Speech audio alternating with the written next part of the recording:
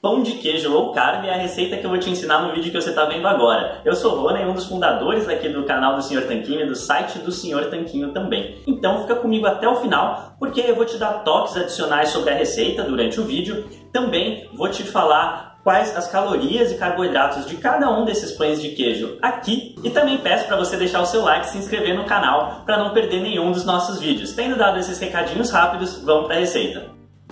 Fazer o nosso pão de queijo low carb é muito fácil. A gente vai precisar de quatro ovos. Eu separei as gemas das claras e eu vou começar batendo as claras em neve. Então aqui eu tenho quatro claras para começar. Aí eu vou bater ela aqui uns 3 a 5 minutos até ficar em neve.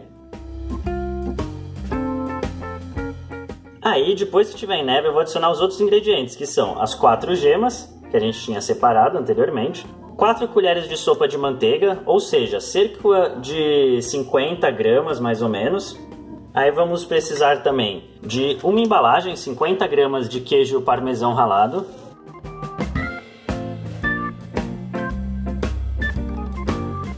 E vamos misturar isso.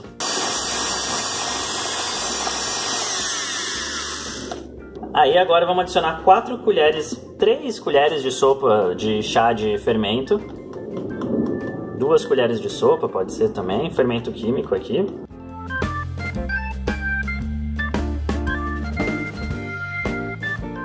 E vamos misturar de novo.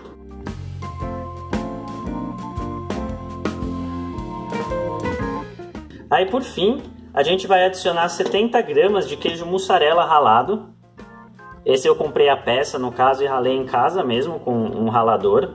Aqueles que usa para ralar cenoura, serve para ralar o queijo também. E a gente vai misturar um pouco só, não precisa bater muito. Nesse passo pode até misturar diretamente com a mão.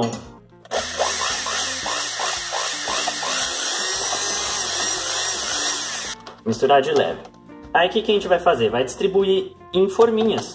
Eu tenho aqui seis forminhas de silicone e eu vou encher bem elas até a boca. São forminhas pequenas, repare, então vai ficar bem cheio mesmo.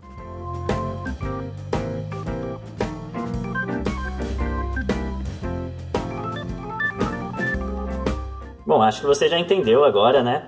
É só dividir nas forminhas que você tiver. Pode ser forminha de papel também, não tem problema. Pode ser de metal. Se for de metal, é bom untar, porque pode ser que grude dependendo do material da sua forminha. E aí eu vou terminar de distribuir. Depois a gente vai levar ao forno pré-aquecido em temperatura média, 180, 200 graus, por cerca de 30 minutos. E aí eu volto para contar os macronutrientes e também como ficou esse pão de queijo. Bom, como você viu, é super fácil fazer esse pão de queijo e você vai ter acesso a ainda mais receitas fáceis assim se você adquirir o nosso livro 120 receitas low carb de sucesso, que você encontra receita de todos os tipos, tem receita de pão de queijo também, tem de bolo, de café da manhã, de almoço, de jantar, todas elas com foto e com quantidade de carboidratos, modo de preparo, ingredientes, tudo bonitinho aqui. E aproveite agora, né? Clique no link que está aqui, o primeiro link da descrição, porque o livro está com frete grátis para todo o Brasil. E a quantidade de carboidratos de cada um desses pães de queijo aqui é praticamente zero, porque como você viu, não foi nenhum tipo de farinha, nem nada assim que contenha carboidrato. Então você pode ficar tranquilo com relação a isso.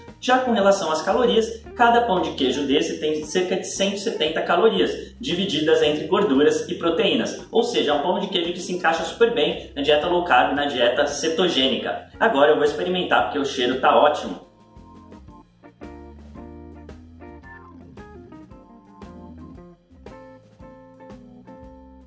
Nossa, para quem é fã de queijo, esse pão de queijo está sensacional, ficou muito gostoso mesmo. E uma dica adicional é que você poderia ter adicionado cerca de 4, 2 a 4 colheres de sopa de farinha low carb. Eu recomendo farinha de amêndoas ou farinha de linhaça ou um mix das duas, farinha de linhaça com farinha de amêndoa, farinha de linhaça dourada no caso, porque aí ele ia ficar ainda um pouquinho mais fofo. Assim ele fica bem com gosto de queijo, fica bem gostoso, sensacional. Mas com farinha low carb ele fica um pouco mais fofo para quem prefere ele assim. Então você pode fazer dos dois tipos e ver como você prefere para guardar essa receita lá no seu arsenal de receitas, tá certo? Aqui do lado tem um outro vídeo que o Guilherme gravou, tá muito bacana, você vai gostar. E eu recomendo também que se inscreva no canal ali no tanquinho no canto da tela. Um forte abraço do Senhor Tanquinho.